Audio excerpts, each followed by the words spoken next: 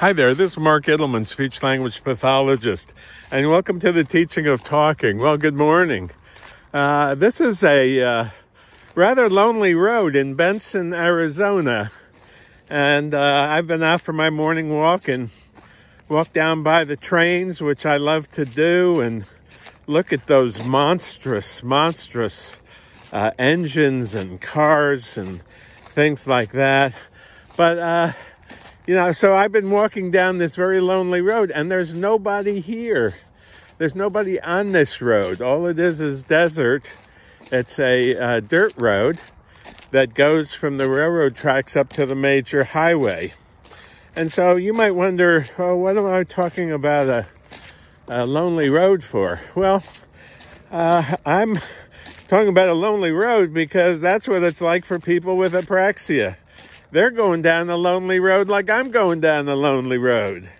And especially those of you who are no longer receiving uh, speech and language help, uh, it's extra lonely.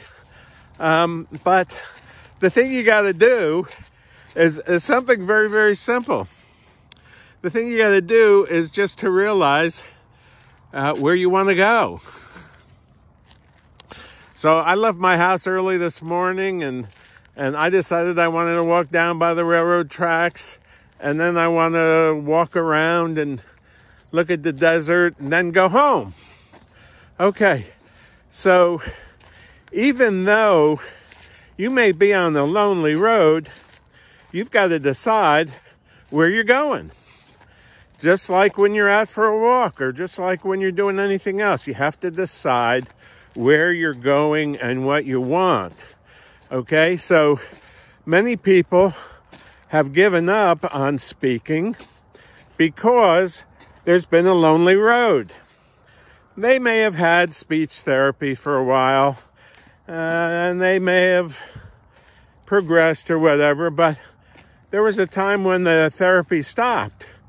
And then that's when you got on the lonely road. And when you're on a lonely road and you don't know where you're going, man, that's really difficult to take. But I'm here to show you that if you have apraxia or if you have aphasia, you don't have to be on a lonely road. Okay? Because the teaching of talking is here.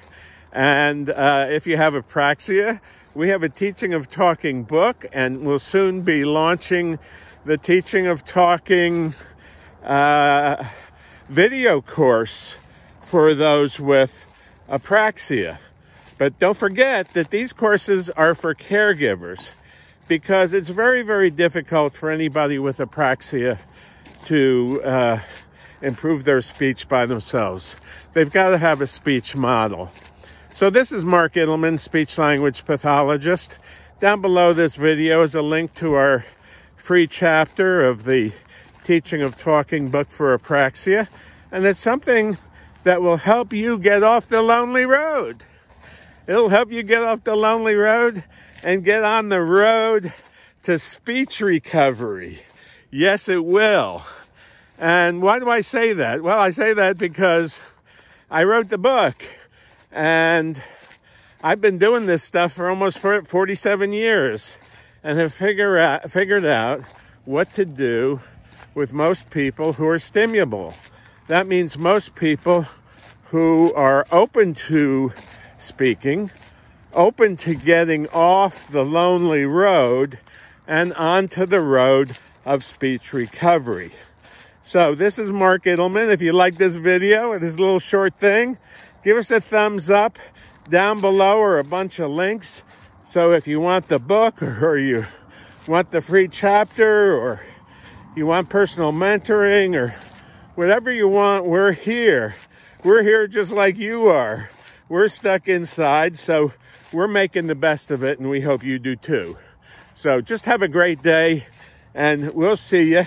Don't forget the thumbs up, and go below, get the free chapter of the book, and or anything else, because we address apraxia with one book, and we address aphasia with a different book. The aphasia book was the first one we published. That's the one with the red cover. and the cup with the pencils in it. This is for apraxia for those who have difficulty making speech sounds or making their speech clear. So we hope to see you soon. This is Mark Ittleman, speech language pathologist, wishing you a great day. Bye bye now.